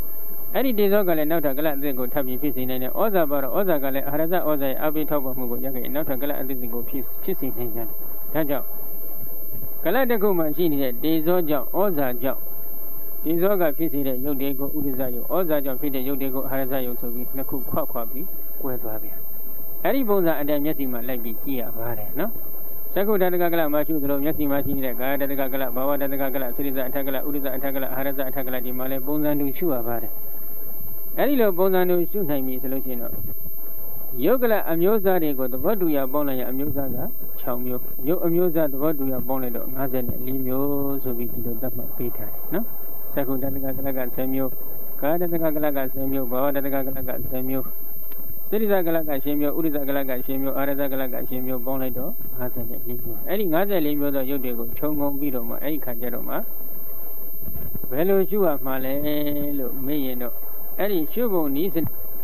သောတပဏိပိတာနိရုပနာလက္ခဏေနဧကတောကတ္တဝဣတရူပန္တိပတ္တိသောထိုယောဂီပုဂ္ဂိုလ်တိသဗ္ဗဏိပိတာနိထိုအလုံးစုံသောယုတ်တရားတို့ကိုလည်းပဲရုပနာလက္ခဏေနာရုပနာလက္ခဏာအဖြစ် ဝါဖောက်ပြန်တတ်တဲ့ရုပ်ဗနာသဘောလက္ခဏာအဖြစ်ဧကတောကတ္တဝါတပေါင်းဤပြု၍ဧတရူပံဒီဤကယုတ်တရားဟု၍ပတ္တိရှု၏အဲ့ဒီယုတ်တိတာတဌာနပြောတာပါသူဖွင့်ထားတာကတော့6ဌာန32ခုဌာနသို့မဟုတ်42ခုဌာနရှိတဲ့ယုတ်တွေကိုအလုံးညာနဲ့ခွဲခြားစိတ်ပြပြီးတစ်လုံးစီတစ်လုံးစီရှုနိုင်ပြီဆိုရင်6ဌာန42ခုဌာနရှိတဲ့ယုတ်တွေကိုခြုံငုံ၍ သောတဗာနိပိတာနိရူပနိရုပနလက္ခဏိနာဧကတောကတ္တဝဧတရူပနိပတ္တိအဲ့ဒီရုပ်အလုံးကိုခြုံငုံပြီးဖောက်ပြန်တတ်တဲ့အနေသဘောကိုတပေါင်းကြီးပြုတ်ပြီးတော့ဖောက်ပြန်တတ်တဲ့အနေသဘောအဖြစ်ဒီရုပ်အလုံးကိုတပေါင်းကြီးပြုတ်ပြီးတော့ဤကယုတ်တရားလို့ရှုပါဆိုပြီးသူကညွှန်ကြားထားဒီတော့ဒီနေ့ယောဂီပုဂ္ဂိုလ်များရဘာဝနာအလုပ်ကိုဝင်လိုက်တယ်ယုတ်ကလလည်းမမြင်သေးဘူးယုတ်ကလဒီလည်းဓမ္မခွဲတတ်သေးဘူး၆ဌာန42ခွဲတတ်ရှိတဲ့ယုတ်ဆိုတာဘာမှမသိသေးဘူး ရခွင်ဝင်လိုက်တဲ့ယုတ်တရားယုတ်တရားလို့ရှုရင်ပုံစံမှန်မှမလားစာပေပေါင်းစည်းကမ်းနဲ့ညီမလားညီပြန်ဘူးဒါဖြင့်စာပေမှာလာတဲ့စည်းကမ်းကပဲကောင်းလားခက်ကညွှန်ကြားတဲ့စည်းကမ်းကပဲကောင်းလားဒီကကြီးဒီအမြင်နဲ့စဉ်းစားမယ်နိဗ္ဗာန်သွားတဲ့အလုပ်ပဲလွဲချော်သွားပြီဆိုလို့ရှိရင်တော့မခက်ဘူးလား အဲ့ဒါသူတို့ကတော့အဲဖောက်ကိုရမ်းမသွားကြနဲ့ဖောက်ကဒိဋ္ဌကရှုတာဝိပဿနာနဲ့လည်းဘာမှဆိုင်တာမဟုတ်ဘူးရမ်းသွားဆရာလွဲနေလို့ရှိရင်ဒုက္ခရောက်ကုန်မယ်ဆိုပြီးသူတို့ကပြောသေးတယ်နော်ဒီတော့ဦးဇင်းဘက်ကဘာပြန်ပြောရမလဲဟမ်အဲဒီတကယ်ကြီးပြောချင်တယ်လို့ပြောတယ်လေခင်ဗျားတော့အဲ့ဒီလိုပြောတဲ့စကားတစ်ခုတော့ရှိတယ်တဲ့နော်ကဲသူကယုတ်ကလတ်တွေတက်ခွဲနိုင်တော့ယုတ်ဒီအလုံးကိုရှုနိုင်မှယုတ်တရားယုတ်တရားလို့ပေါင်းစုရှုရတယ်အခုကတော့တဌာနပါ အဲ့ဒီပုံစံအတည်းမြမျက်စိမှာရှိသလိုနားနှာခေါင်းဆရာကိုနှလုံး6ဌာနလုံးဖြူသံမင်းမွေးညင်းခြင်းတဲ့လက်သက်သွားရေးဆက်တဲ့32ခုထတာသုံးဖို့42ခုထတာဒီမှာလည်းဖြူပါပြုတ်ပြီးတဲ့အခါမပြီးသေးဘူးအထက်ကရာဆရာတော်ကရုပ်အတုတွေကိုရှုဖို့ရအတွက်ဝိသုဒ္ဓိမေအထက်ကရာစာမျက်နှာ225မှာညွှန်ကြားထားပါတယ်နော်ဣတိတဗ္ဗနိပိပေတနိတတ္တဝေတတိရူပနိရူပခန္ဓာဧကတိတိယ အဲ့ဒီမှာသူကရုပ်အတုတွေရည်တွက်ပြထားတယ်နော်ဘယ်လိုလဲဆိုတော့အပိဇာခောရူပနာရူပနာအာကာရဝိကာရအန္တရာပရိစ္ဆေဒမတ္တတရူပန္တိသင်္ခကတာနိဣဒာနိသဗ္ဗနိပေတာနိတတ္တဝေတတိရူပနိရူပခန္ဓာအဲ့ဒီရုပ်ပြတွေကအကုန်လုံးကပါပြီနော်ရုပ်ပြအလုံးပေါင်းလိုက်ထုတ်ဌာန42ခုဌာနရှိတဲ့ရုပ်တွေကိုပေါင်းလိုက်ရုပ်29ပါး29ပါးဆိုတာကဘာလို့ဒီတစ်မျိုးတည်းပဲယူခဲ့ရင်ပြောတာပေါ့နော် အဲ့ဒီထဲမှာဥစဉ်တို့အာဂတတို့လဟုတမုဒ္ဒကမိညတကဝိညာဝစီဝိညာဒါဒီဘထည့်ပြီးယူတတ်တာဥပ္ပဇ္ဇတဏ္ဍိသရဒဏိသတဒါဒီလည်းထည့်ပြီးယူတတ်တာအဲ့ဒီရုပ်တရားအလုံးကိုပဲတဲ့သူကဘာလို့လုပ်ရမလဲရူပခန္ဓာလို့ခေါ်တယ်အဲ့ယုတ်တရားအလုံးကရူပခန္ဓာဧကတိရိယလောကိယစိတ်တည်းသတ္တေဥပ္ပနာဝေဒနာဝေဒနာခန္ဓာတန်တမြုဒ္ဒတင်ညာတင်ညာခန္ဓာသင်္ခါရသင်္ခါရခန္ဓာဝိညာဏဝိညာဏခန္ဓာဒီ လောကီစိတ်စရတဲ့82ခုရှိအဲ့ဒီ82ခုနဲ့ရှင်းနေတဲ့ဝေဒနာကဝေဒနာခန္ဓာတင်ညာကတင်ညာခန္ဓာကျန်စရတဲ့တွေကသင်္ခါရခန္ဓာအသိစိတ်ကဝိညာဉ်နဲ့ခန္ဓာပေါင်းလိုက်တော့နာခန္ဓာနှီးပါဒီတိရူပခန္ဓာရူပသတ္တရောအရူပိနောခန္ဓာနာမတိဧဝမေကောပိသခန္ဓာဝတေနနာမရူပဝဝထပေတိဣတိဣသောလင်ရူပခန္ဓာရူပခန္ဓာတိကရူပယုတ်တရားတိရူပခန္ဓာကယုတ်တရား သတ္တရောအရူပိနောခန္ဓာနံခန္ဓာလေးပါးတို့တိကနာမနံတရားတိဟောနံခန္ဓာလေးပါးကနံတရားရူပခန္ဓာကယုတ်တရားနံခန္ဓာလေးပါးကနံတရားအဲ့ဒီမှာယုတ်နံခွဲပါဆိုပြီးဒီလိုညွှန်ကြားထားတယ်အဲ့ဒီညွှန်ကြားတဲ့မှာယုတ်အတုတွေပါနေတယ်ပြီးတော့ရုပ်တုတွေကိုပါထည့်ပြီးတော့ဘာကြောင့်ဝိပဿနာမချူကောင်းမဲနဲ့ဘာဖြစ်လို့ရှုနေရပါသလဲဆိုပြီးတော့ဒဝဲကဘုန်းတော်ကြီးတစ်ပါးဆက်ဘုန်းတော်ကြီးတစ်ပါးကဆံပြီးနေသင်္ကရကညွှန်ကြားထားတယ်ဘာကြောင့်သင်္ကရကလည်းညွှန်ကြားထားတယ်ဘုရားရှင်ရဲ့ ညွှန်ကြားချက်ကိုဥထိပ်ကျပန်းစင်းပြီးအထက်ကရာဆရာတော်များကလည်းဖွင့်ဆိုနေခြင်းဖြစ်တယ်ဘုရားရှင်ကဟောမာရောက်လောက်ရသုတ္တမရှင်ရဟုလာကိုဓာတ်၆ပါးကမ္မထံပေးတဲ့အပိုင်းပေါ့နော်အဲ့ဒီထဲမှာအာဂတတတခုထည့်ရှုပြီးပေးထားတယ်ဓာတ်၆ပါးဆိုတာကတော့ပထဝီဓာတ်အာဘောဓာတ်ဒီဇောဓာတ်ဝါယောဓာတ်ရုပ်ခက်ကဘူဒီယုတ်ဒီပါအာဂတတဆိုပြီးတော့ဥပဒယုတ်ခက်ကတလုံး ဝိညာဏတဆိုပြီးတော့နာမည်မှာတလုံးပေါင်းလိုက်တော့ဘယ်နှပါလဲ6ပါအဲ့ဒီဓာတ်6ပါးကမ္မဋ္ဌာန်းကိုပြတဲ့အပိုင်းမှာအာဂတတတလုံးကိုရှုပါလို့ပြောလိုက်ရင်ဥပဒယုတ်ဒီတဲ့က24မျိုးရှိတော့24မျိုးတဲ့ကအာဂတတတလုံးကိုရှုပါလို့ပြောလိုက်ရင်အာဂတတနဲ့ဥပဒယုတ်ချင်းတူနေတဲ့24မျိုးလုံးကိုသိညုံပြီးရည်တွေ့ရတယ်ဆိုပြီးအထက်ကကရှင်းထားဘာဖြစ်လို့လဲဘုရားရှင်ကလက္ခဏာဟာရနိတ္တိနဲ့ဟောထားတာပါ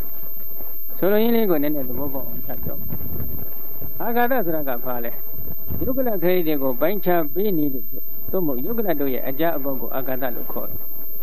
ယုတ်ကလတို့ရဲ့အကြအပေါက်ကိုမြင်နေတဲ့ပုဂ္ဂိုလ်ယုတ်ကလကိုမြင်မလားမမြင်ဘူးလားယုတ်ကလတို့ရဲ့အကြအပေါက်ကိုမြင်အောင်ကြည့်ပါဆိုတာပညာရှိစကားလုံးနဲ့လုံးလိုက်တာပဲယုတ်ကလကလေးရဲ့အကြအပေါက်ကလေးကိုမြင်အောင်ကြည့်ပါလို့ပြောလိုက်တာဒီယုတ်ကလကိုတော့ပြီးတွေ့မလားမတွေ့ဘူးလားသံဃာပေါက်ကလေးကိုဒီတက်စမ်းဆိုသံဃာတွေ့မလားမတွေ့ဘူးစကားက အကြည့်ခိုင်းတာကတော့တန်စကာရဲ့အပေါက်ကိုအကြည့်ခိုင်းတာပဲဒါပေမဲ့တန်စကာရဲ့အပေါက်ကိုကြည့်လိုက်ရင်ဒီတန်စကာကိုသွားတွေ့မလားမတွေ့ဘူးဒီသဘောပါပညာရှိစကားလုံးနဲ့သုံးထားတဲ့စကားယုတ်ကလကိုတွေ့ပြီဆိုရင်ယုတ်ကလမှာရှိတဲ့ဓာလေးပါရှုပါလို့ဘုရားကညွှန်ကြားလိုက်ဓာလေးပါကိုရှုပါလို့ညွှန်ကြားလိုက်တဲ့အခါကျတော့ဓာလေးပါရှုလို့ရှိရင်တော့ဓာလေးပါကိုမှီနေတဲ့ဒီဥပါဒယုတ်ကကိုသွားပြီးတော့မတွေ့နိုင်ဘူးလားဤမေသတရောမဟာဗုဒ္ဓပရိက္ခဏန္တတဥပဒရူပံဘဂတံဟောတိဟောစီကံလေး ကလတ်တစ်ခုအတွင်းမှာရှိတဲ့ဓာလေးပါးကိုညာနဲ့ပိုင်းခြားယူနိုင်ပြီဆိုလို့ရှိရင်ဥပါဒယုတ်တွေကသင်္ချာလာပါလိမ့်မယ်ဆိုပြီးဒီလိုဖွင့်ထားပါတယ်ဒီတော့အာဂတတကိုမြင်အောင်ရှုပါလို့ပြောလိုက်ရင်ဥပါဒယုတ်တွေကိုမြင်အောင်ရှုပါလို့ဘုရားရှင်ဆိုလိုကြောင်းကိုအထက်ကရာကြီးရဲ့ရှင်းလင်းချက်ဒီသဘာဝမကြောက်ဘူးလားကြာနေပါလေဒါကြောင့်သိတော်မူမြင်တော်မူတဲ့ဆရာဆရာကြီးများကိုသွားပြီးမဟုတ်မတရားအရင်မဆွဆွမိဖို့တော့သိအရေးကြီးတယ်။ဘာဖြစ်လို့အထက်ကရာကြီးကဒီလိုဖွင့်နေရလဲ။ဟိုးဘုရားရှင်ကိုတော်တိုင်ကခ ဏခဏတော့ဟောနေပါတယ်နော်။သာလကနဝကတန်ယုတ်ပါဠိတော်မှာအပရိဇရဏသုတ်တံဆိုပြီးသုတ်တံနှစ်ခုဟောခဲ့ပါတယ်။နဗံဘိကဝေနာပိဇာနာအပရိဇာနာအဝိရဇယအပဇဟံအဘဘောဒုက္ခခရာယအလုံးစုံသောယုတ်တိနန္ဒီကိုပရိညာပညာသုံးမျိုးဖြင့်ပိုင်းခြားမဒုက္ခဘယ်လိုမှမကုန်နိုင်ဘူး။သဗ္ဗံဇာကောဘေကွေအပိဇာနာပရိဇာနာဝိရဇယပဇဟံဘဘောဒုက္ခခရာယအလုံးစုံသောယုတ်တိနန္ဒီကိုပရိညာပညာသုံးမျိုးဖြင့်ပိုင်းခြားသည်မှာဒုက္ခကုန်မယ်လို့ဒီလိုဟောထားတယ်။ ဘုရားရှင်ကဒီလိုဟောထားတဲ့အတွက်အထက်ကရာဆရာတော်မြတ်ဒီကဆရာတော်မြတ်ကလည်းဘုရားဟောကိုဥထိပ်ရွယ်ပန်းဆင်းပြီးတော့ယုတ်တိနဲ့နေကုံအောင်ရှုွက်ကိုသူတို့ကညွှန်ကြားပေးနေရခြင်းဖြစ်ပါတယ်နော်ဒီတော့ယုတ်တို့28ပါးကိုခုယုတ်ကမတန်ရှုဖို့တဲ့ယောဂီမနန်းတွေပါယုတ်28ပါးဘယ်ခါမှရှုလို့ရယုတ်ကလတ်တွေတက်ခွဲမှရှုလို့ရတာပါယုတ်ကလတ်တံမခွဲရသေးရင်ယုတ်28ပါးကုံစင်အောင်ရှုလို့ရမလားမရဘူးဒီတော့ယုတ်ကလတ်မှမမြင်ဘူးတဲ့ပုဂ္ဂိုလ်ယုတ်28ပါးဆိုတော့ဘယ်လိုလုပ်ရှုတော့မလဲရှုလို့ဘယ်လိုမှမဖြစ်နိုင်ဘူးနော်ဒါကြောင့်ဦးဇင်းတို့ ယုံနာသိသိတဲ့အပိုင်းမှာတော့အထက်ကရာဆရာတော်ကယုတ်အတုတွေကိုပါရောနှောသိသိဖို့ညွှန်ကြားထားပါတယ်။ဒါပြင်မဲ့ဝိပဿနာရှုတဲ့အပိုင်းမှာယုတ်အတုတွေကဝိပဿနာမရှိကောင်းတဲ့ယုတ်ဖြစ်လို့ဝိယုတ်အတုတွေကိုခြံထားရတယ်။သောတာနာ52ခေါ်တာရှိတဲ့ယုတ်အစစ်တွေတက်တက်ကိုတော့ကျွတ်ပြီးတော့ဝိပဿနာရှုရတယ်။ဒီလိုခွဲတန်းချပြီးမှတ်တတ်ဖို့တော့လိုတယ်။တစ်ဖက်တက်ကလေးနဲ့ရုပ်စေများဒီသာဝိပဿနာရှုကောင်းတဲ့ရုပ်တွေကဝိပဿနာမရှိကောင်းဘူးဒါကြောင့်ဒီရုပ်တွေကိုလုံးလုံးမရှိဘူးလို့တော့ပြောလိုက်ရင် မှားမလားမှန်မလားမှားနေပြီဘာဖြစ်လို့အာဂတကိုမမြင်ကလတ်ကိုမမြင်ဘူးကလတ်ကိုမမြင်ကလတ်ကိုတောက်မခွဲတတ်ဘူးဒါမခွဲတတ်ရင်ရုပ်အစစ်ကိုသိပါမလားမသိနိုင်ဘူးဒါကြောင့်ရုပ်အစစ်ကိုဟုတ်တိုင်းမှဆိုသိရဲ့အတွက်ရုပ်အတုနဲ့ကင်းလို့ရပါမလားမရနိုင်ဘူးဒါကြောင့်ရုပ်အတုတွေကိုရုပ်အစစ်သိရဲ့အတွက်တော့ရောနှောက်ပြီးရှုပြရတယ်ရှုလိုက်တဲ့အချိန်ကမှစိတ္တဇယုတ်တွေဥဒ္ဒဇယုတ်တွေအာရဇယုတ်တွေကိုသွားရှုလိုက်ရင်တခါတလေပေါ်ပါတဲ့သဘောနုညံ့တဲ့သဘော အချိုးကျအစဉ်ပြေနေတဲ့ကံမညသဘောလေးတွေကတော့သွားတွေ့တာတွေ့နေတာတော့ရော့ရှုလိုက်တော့ဘာဖြစ်ဖြစ်မှာဖြစ်ပါဘူးဒီသဘောပါနော်နောက်တစ်ခုကြည့်ပေါ့အဲ့ယုတ်ကလကလေးတွေကိုဓာတ်ခွဲနေနေဒီယုတ်ကလကလေးတွေဖြစ်မှုယုတ်ကလတစ်ခုအတွင်းမှာရှိတဲ့သဘောတရားရှင်မျိုးကိုမျိုးဆယ်မျိုးသောယုတ်တရားဖြစ်မှုတည်မှုပြည့်မှုမတွေ့ဘူးလားတွေ့နေလို့ရောရှုတာဘယ်လိုများအာဘတ်တင်ပြရှိဟမ်အာဘတ်တင်ဖြေနေဖို့လိုသေးလား ဘုရားရှင်ရဲ့ဒေသနာတော်နဲ့လုပ်ငန်းခွင်ကိုအဝင်ခွင်ကြမပြောတတ်လို့မရှုတတ်လို့ပြောနေတဲ့စကားတွေကဖြစ်ပါတယ်ဒီယုတ်တုတွေကမရှုကောင်းဘူးဆိုပြီးတော့နော်ဒါကြောင့်ဒီယုတ်တုလေးတွေကိုပဲရောနှောက်ပြီးမြတ်ဒီမှာအထက်ကရာဆရာတော်မြတ်ကယုတ်တရားလို့သိသိပါမြင်နေတာကိုမြင်နေတော့သူတို့ကပါခြုံငုံပြီးယုတ်တရားလို့သိသိသို့တော့ဝိပဿနာရှုတဲ့အပိုင်းမှာတော့ယုတ်တုတွေထားခဲ့ဒါပြောတာနော်ကဲအဲ့ဒီရုပ်အစစ်ဒီရုပ်အတုတွေကိုဓာတ်ခွဲပြီးပြီဆိုလို့ရှိရင်ရူပခန္ဓာရှုခွက်တော့ဂုံတော့တော့ဖြစ်သွားတယ်တိုးတော့ကိုကမျက်စိတဌာနပဲရှိပါတယ်နော် ကျန်တဲ့၅ဌာနနဲ့32ခုဌာနသို့မဟုတ်42ခုဌာနဒီမှာပုံစံတူရှုစိရိဇယုဥရိဇယုအာရဇယုဒီမှာလည်းပုံစံတူရှုပြီးတော့နော်ဆရာသမားနဲ့ဇာတ်ချပြီးတော့ချင်းကလေ့လာပြီးတော့အဲ့ဒီယုတ်တရား28ပါးကရူပခန္ဓာနော်အဲ့ဒီရူပခန္ဓာကိုညာနဲ့ပိုင်းခြားယူနိုင်တဲ့ယောဂီပုဂ္ဂိုလ်ရဲ့တဏ္ဍာမှာဘာဖြစ်လာမလဲဣတိဧဝံဤသောလျေရူပခန္ဓာရူပခန္ဓာကိုပရိက္ခဏတတညာဖြင့်ပိုင်းခြား၍ယူနေသောယောဂဝါစရာအတ္တထိုယောဂဝါစရာပုဂ္ဂိုလ်ဤတဏ္ဍာ၌ အယရဏဒွါရဝသေနအယရဏဒွါရဤအစွမ်းအဖြစ်အရူပိနောခန္ဓာနံခန္ဓာလေးပါတို့သည်ပါကတထင်ရှားလာကုန်သည်ဟွန်ဒီဖြစ်ကြလေကုန်၏ယုံ27ပါးကရူပခန္ဓာအဲ့ဒီရူပခန္ဓာကိုညာနဲ့တလုံးစီတလုံးစီခွဲခြားစိတ်ပြပြီးပိုင်းခြားယူနေတဲ့ယောဂဝါစရာယဟန်တော်ရဲ့အတိညာမှာအာယရဏဒွါရဤအစွမ်းအဖြစ်နံခန္ဓာလေးပါထင်ရှားလာပါလေအာယရဏဒွါရဆိုတာကဘာပြောတာလဲဦးဇင်းတို့သာပိနေမှာဒွါရအတုံအလုံးနှမျိုးရှိ ကာမဒွါရအာယတနဒွါရဆိုပြီးဒွါရအတုံအလုံးဘယ်နှမျိုးရှိလဲနှမျိုးကာမဒွါရဆိုတာကကာယဒွါရဝစီဒွါရမနောဒွါရခေါ်တဲ့ဒွါရအသုံးဆုံးကိုတော့ကာမဒွါရလို့ခေါ်တယ်သက္ခုဒွါရသောတဒွါရခန္ဓာဒွါရဇိဝဒွါရကာယဒွါရမနောဒွါရခေါ်တဲ့ဒီဒွါရအသုံးလုံး6မျိုးကိုတော့အာရဏဒွါရလို့ခေါ်ပါတယ်ဒွါရဆိုတာကတကပေါက်ကြီးပဲခုဝင်းနဲ့ထွက်နေတဲ့တကပေါက်ကြီးကိုဒွါရလို့သုံးတယ် အဲ့ဒါနဲ့တင်စားပြီးတော့မျက်စိကိုလည်းဒွါရဆိုသုံးလိုက်တယ်စက္ခုကိုလည်းဘာဖြစ်လို့လဲစိတ်စိတ္တိတွေဝင်ရထွက်ရတကပေါက်ကြီးဖြစ်နေလို့မျက်စိအကြည်နာအကြည်နှာခေါင်းကြီးရှားကြီးကိုယ်ကြီးမနှောကြီးတွေကိုလည်းဒွါရလို့သုံးပါတယ်နော်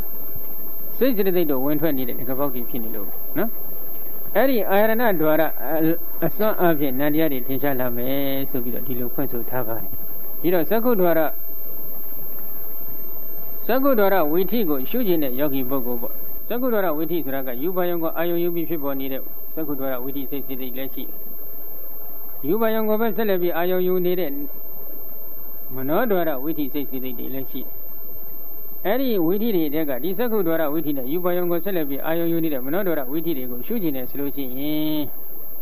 အာယရဏဒွါရအလိုက်နန္တရားတွေကထင်ရှားလာတယ်ဆိုတော့ဒီသက္ခုဒွါရဝိထိစိတ်စိတ်တွေကဘယ်ဒွါရ မှမှီဖြစ်တယ်လဲဘယ်တော်တော့ကိုအစွဲပြုပြီးဖြစ်တယ်လဲဒါကြည့်ရတယ်ဒီတော့သက္ကုဒ္ဒရဝိသိစိတ်စိတ်တွေမှာပိစ္ဆဒရဝဇံသက္ကုဝိညာဉ်တံပရိစ္ဆေတန္တိရဏဝုထောဇောဒါယုံဆိုပြီးတော့ဝိသိစိတ်အမျိုးအစား9မျိုးရှိနောက်လည်းမနောဒရဝိသိစားတဲ့မနောဒရဝိသိတွေမှာတော့မနောဒရဝဇံဇော9ကျင်းဒါယုံ2ကျင်းဆိုပြီးဝိသိစိတ်အမျိုးအစား3လုံးရှိတယ်မနောဒရဝဇံဇောဒါယုံအဲ့ဒီအထက်မှာသက္ကုဝိညာဉ်ကလွှဲရင် ဉာဏ်နေတဲ့စိတ်စိတ်တွေတည်းဒီမနောဒရကိုဆွဲပြီးတော့ဟရိယဝတ္ထုကိုပြီးတွဲဖြစ်ကြတယ်သက္ခုဝိညာဉ်တစ်ခုကတော့သက္ခုအကြည်ဓာတ်သက္ခုဒွါရကိုပြီးတွဲပြီးဖြစ်သွားတယ်ဖြစ်သွားတဲ့အခါကျတော့အာရဏဒွါရအလိုက်နန္တရားတွေထင်ရှားတယ်ဆိုတော့ဦးဇင်းတို့ရှုခွက်မှလည်းအာရဏဒွါရအလိုက်ပဲနန္တရားတွေကိုသိပြီးပြီးရှုပြရတယ်။ဒီတော့ဒီဒွါရနှစ်ခုမှာဒီဝိသိစိတ်သက္ကုဒ္ဒရဝိသိစိတ်နဲ့မနောဒ္ဒရယူပါယုံကိုအာယုံယူနေတဲ့မနောဒ္ဒရဝိသိစိတ်တွေကဇက်တိုက်ဖြစ်နေတာဖြစ်တော့ ဒီဝိသိစိတ်တွေကိုရှုခြင်းဒွါရနှစ်ခုကိုပူတွဲသိသိဖို့လိုအပ်ပါတယ်အဲ့ဒီဒွါရနှစ်ခုတွေပူတွဲသိသိရမလားဆိုတော့မဟုတ်သေးဘူးဒီဒွါရနှစ်ခုမှာဒီယူပါယုံခေါ်တဲ့အာယုံကလာပြီးရိုက်ခတ်လိုက်တဲ့အချိန်ခါကျမှဒီဝိသိစိတ်တွေကဖြစ်ဒီတော့ယူပါယုံကိုလည်းလှမ်းပြီးပုဒ်တဲ့သိသိတတ်ဖို့လိုတယ်အဲဒီတော့ရှုွက်ကိုပြောမယ်ဆိုလို့ရှိရင်တော့ဒီကဇက်ကုအကြည်ဓာတ်နဲ့ဘွေမနောကြည်ဓာတ်ကိုဉာဏ်နဲ့ထင်အောင်ပူတတ်ပြီးသိသိထား ဉာဏ်နဲ့မှဒီအကြည်ဓာတ်နဲ့ကိုပြိုင်လို့ထင်ပြီဆိုလို့ရှိရင်ယုတ်ကလတစ်ခုသို့မဟုတ်ယုတ်ကလအများစုမှာရှိနေတဲ့ယူပါယုံအယောင်ကိုလှမ်းအာယုံယူကြည့်ထိုယူပါယုံအယောင်ကဒီဇက်ကုအကြည်နဲ့ဘွေမနောကြည်မှာပြိုင်လို့လာပြီးရိုက်ခတ်လိရိုက်ခတ်လို့ရှိရင်အဲ့ဒီမှာပိဇာရဝဇ္ဇဇကုဝိညာဉ်တပရိစေနရိရဏဟူသောဇောခုနှစ်ကျင်းတရားယုံနှစ်ကျင်းဆိုတဲ့သကုတော်ဝိတိစိတ်တရောဘဝင်ချပြီးတော့မနောရဒဝဇ္ဇဇောခုနှစ်ကျင်းတရားယုံနှစ်ကျင်းဆိုတဲ့မနောရဒဝိတိစိတ်တရောဘဝင်နေချချပြီးကြည်ခွာမြတ်စွာထက်ခတ်ထက်ခတ်ယူပါယုံကိုအာယုယူပြီးဖြစ်ပေါ်နေလိမ့်မယ်ဗ မာလိုပြောရင်တော့ဆင်းခြင်းမြင်းတိလက်ခံစုံစမ်းဆုံးဖြတ်ဇောတရားယုံဆင်းခြင်းဆုံးဖြတ်ဇောတရားယုံဆိုတဲ့ဒီဝိတိစိတ်ကလေးတွေပဲနော်အဲ့ဒီဝိရိစိတ်ကလေးတွေဖြစ်ပေါ်နေတဲ့အခါကျတော့အဲ့ဒီမှာဘုဒ္ဓနေ့ကတတ်မှတ်ပေးတဲ့စီကံအရာအသိစိတ်ကိုပရဏထရှုခြင်းလည်းရှုရတယ်ဖတ်တကိုပရဏဥတည်ပြီးရှုခြင်းလည်းရတယ်ဝေဒနာကိုဥတည်ပြီးရှုခြင်းလည်းရတယ်အသိစိတ်ကိုပရဏထရှုလည်းအသိစိတ်ဒီလုံးနဲ့မရှုနဲ့ရှင်ဘက်စိတ်စိတ်တွေတမ်းပြပြတွေကိုယ်စီအောင်ရှုရ ဝေဒနာကိုဥတည်ရှုရင်လည်းဝေဒနာတစ်လုံးနဲ့မရှုနဲ့ရှင်ဘက်စိတ်စိတ်တွေကိုယ်စီအောင်ရှုရဖတ်တကိုဥတည်ရှုရင်လည်းဖတ်တတစ်လုံးနဲ့မရှုနဲ့ရှင်ဘက်စိတ်စိတ်တွေကိုကိုယ်စီအောင်ပဲရှုရနော်ကိုယ်စီအောင်ရှုရမှာဖြစ်တော့ဦးဇင်းတို့ရင်သတ္တဝဇ္ဇမှာစိတ်စိတ်က7လုံးရှိမယ်သက္ကဝိညာဉ်မှာစိတ်စိတ်ရှင်းလုံးတံပရိဆိုင်ကြတော့လက်ခံတဲ့စိတ်မှာစိတ်စိတ်7လုံးတန်တိရဏမှာစုံစမ်းတဲ့စိတ်စိတ်ကြတော့ပီတိပိုင်း7ပီတိမပိုင်း7 ဘုဒ္ဓကြတော့ဆင်ញင်ဆုံးဖြတ်တဲ့ယူပါယုံကိုဆင်ញင်ဆုံးဖြတ်လိုက်တဲ့အိဋ္ဌအနိဋ္ဌအစသည်ဖြင့်ဆင်ញင်ဆုံးဖြတ်တဲ့စိတ်မှာစိတ်စိတ်7လုံးရှိတယ်။ဇောတိကုသိုလ်ဇောဖြစ်ခဲ့ရင်34 33 32စသည်ရှိလိမ့်မယ်။တရားယုံမှာလည်းရှေ့ကဇောကကုသိုလ်ဇောဖြစ်ခဲ့ရင်နောက်တရားယုံကိုလည်း34ဆိုလက်လျောညီးထွေအောင်ချတယ်။သို့မဟုတ်ဉာဏ်နဲ့တရားယုံနေလည်းထိုက်လို့ဖြစ်ပါတယ်နော်။အဲ့ဒီပုံစံအတိုင်းစိတ်စိတ်ကလေးတွေဖြစ်သွားတော့အဲ့ဒီစိတ်စိတ်ကလေးတွေကိုဒီလုံးစီညာနဲ့ခွဲခြားစိတ်ဖြာပြီးရှုတတ်ဖို့တော့လိုတယ် ရှုတဲ့ဘက်မှာပရမအသိစိတ်ဒီလုံးကိုစပြီးလေ့ကျင့်ရတယ်အသိစိတ်ကစရှုခြင်းယူပယံကိုသိနေတဲ့ဆင်ញင်းတဲ့စိတ်မြင်သိတဲ့စိတ်လက်ခံဆုံးစမ်းဆုံးဖြတ်သောတရားယုံဆိုတဲ့ဒီစိတ်ကလေးတွေဒီလုံးပြီးဒီလုံးထပ်ခါထပ်ခါဖြစ်နေတာမြင်အောင်ကြည့်လို့ရပြီဆိုတော့မှအသိစိတ်ဖတ်တာနှလုံးလောက်နှလုံးနှလုံးအကျင့်များစွာဖြစ်တာတွေ့ပြီဆိုတော့မှအသိစိတ်ဖတ်တာဝေဒနာ၃လုံး၃လုံး၃လုံးအကျင့်များစွာဖြစ်ပြီဆိုတာတွေ့မှအသိစိတ်ဖတ်တာဝေဒနာသေးညာဆိုလေးလုံးလေးလုံးလေးလုံးအကျဉ်းများစွာဖြစ်ပြီဆိုတော့မှ ဖြစ်တာကိုညာနဲ့မြင်အောင်ကြည့်နိုင်ပြီဆိုတော့မှအတိစိတ်ဖတ်တာဝေဒနာတင်ညာစေတနာဆိုပြီးတော့ငါးလုံးအဲ့ဒီနည်းစနစ်အဖြစ်တဖြည်းဖြည်းတိုးထွက်ရပါတယ်နော်အဲ့ဒီလိုတိုးရှုလိုက်ပြီးတော့မှနောက်ပိုင်းကျမှဇရာမှာချထားတဲ့အတိုင်းစိတ်စိတ်ကလေးတွေကိုဂုံစီအောင်ဆက်လက်ပြီးသိသိရပါတယ်နော်အဲ့ဒီလိုသိသိတဲ့စနစ်ကခုနကယောဂီပုဂ္ဂိုလ်ဒီပထမပိုင်းဘာလိုအပ်တယ်လဲယုတ်တရားကိုသိသိထားပြီးဖြစ်ဖို့လိုနေတယ်ဒီနံတရားလေးတွေကိုစနစ်တကျရှုပွားတတ်ရေးအတွက် သို့တော့ဇာဏံတရားမျိုးဖြစ်ခဲ့မယ်ဆိုရင်တော့ဇန်သမารိရဲ့စွမ်းအားကြောင့်ဇာဏံတရားတွေကိုစပြီးသိသိလိုက်သမထယာနိကပုဂ္ဂိုလ်များမှာတော့ရနိုင်တဲ့စွမ်းအားရှိပါတယ်ဝိပဿနာယာနိကပုဂ္ဂိုလ်များကြတော့ယုတ်ကမထနံကမထနှစ်မျိုးရှိတဲ့အ ਨੇ ကယုတ်ကမထကနေစပြီးတော့သိသိပါဆိုပြီးတော့ဝိသုဒ္ဓိမေအထက်ကရာဒုတိယတဲ့ဆံမျက်နှာ220နဲ့နှစ်မှာညွှန်ကြားထားပါတယ်နော် သုဒ္ဓဝိပဒနာယာနိကောပနာအယမေဝဝသမထယာနိကောစသည်ဖြင့်ဒီလောကပြောခဲ့ပြီးပြီဓာကြီးလေးပါးကနေစသိသိရတယ်အဲ့ဒီလိုသုဒ္ဓဝိပဒနာယာနိကပုဂ္ဂိုလ်ဖြစ်ခဲ့ရင်တော့ယုတ်ကမထံကိုသိသိပြီးမှနံကမထံကိုပြောင်းရှုပါဆိုပြီးတော့ဒီလိုသတ်မှတ်ချက်ရှိတယ်ယုတ်ကမထံကိုမသိသိရသေးပဲနဲ့နံကမထံကိုပြောင်းသိသိခဲ့မယ်ဆိုရင်ဘာဖြစ်မလဲအဲ့ဒီအပိုင်းကိုဝိသုဒ္ဓိမေအထက်ကရာဒုတိယတဲ့ဇာမျက်နှာ220ခွန်စာပတ်ရင်681မှာအတိအကျတတိပိထားပါနော်ဒီတတိပိကျက်ကလေးက လုပ်ငန်းခွင်အတွက်အရေးအကြီးဆုံးသောစည်းကမ်းသတ်မှတ်ချက်တစ်ခုဖြစ်နေတယ်။ဘယ်လိုတတိပိထားလဲ။ယတမဇအေဝံသူဝိတုဒ္ဒရူပပရိက္ခတေဝတတ္တအရူပဓမ္မတိဟာဂရေဟိပကတာဟွန်ဒီတတ္တမသူဝိတုဒ္ဒရူပပရိက္ခိနေဝအရူပပရိက္ခာယယောဂောကတာဘောနဣတရေနာယတမဇအကျင့်ကြောင့်ကအေဝံဤသောခဲ့ပြည်သည့်အတိုင်းသူဝိတုဒ္ဒရူပပရိက္ခတေဝတတ္တ ကောမွန်စင်ကြသောယုတ်တရားကိုသိသိပြီးတဲ့ထိုယောဂဝတ္တပုဂ္ဂိုလ်ရဲ့အတိညာ၌သာလျင်အရုပဓမ္မနန္တရားတို့သည်တိဟာကာရေဟိသုံးမျိုးသောချင်းအတို့ဖြင့်ဘာဂတထင်ရှားလာကုန်သည်ဟွန်ဒီဖြစ်ကြလေကုန်၏တတမထိုကြောင့်သူဝိသုဒ္ဓရူပပရိကေနေဝကောမွန်စင်ကြသောယုတ်တရားကိုသိသိပြီးတဲ့ဉာဏ်ဖြင့်ပိုက်ချယူပြီးတဲ့ယောဂီပုဂ္ဂိုလ်သည်သာလျင်အရူပပရိကဟာယနန္တရားကိုသိသိခြင်းကယောဂောကျိုးစားအထောခြင်းကိုကတ္တဘောပြုတဲ့ပြုတိုက်လှပေ၏ ဣတရေနာယုတ်တရားကိုယုတ်ကမထံကိုကောင်းမွန်စင်ကြယ်စွာမသိစီရသေးတဲ့ယောဂဝသရပုဂ္ဂိုလ်သည်အာရုပပရိက္ခာယနံတရားကိုသိသိသိသိခြင်းခါဝါဉာဏ်ဖြင့်ပိုက်ချယူခြင်းခါယောဂောကြိုးစားအထုတ်ခြင်းကိုနဂတဘောမပြုတ်သည့်မပြုတ်တိုက်လှပြီ